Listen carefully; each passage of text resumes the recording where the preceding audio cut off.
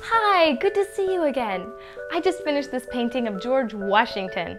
Washington begins with the W sound of the letter W.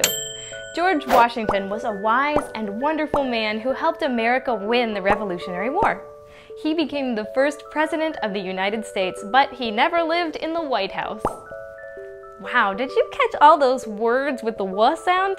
We had Washington, wise, wonderful, win, war, and White House. Well, I guess I better go get some warm water to wash up now.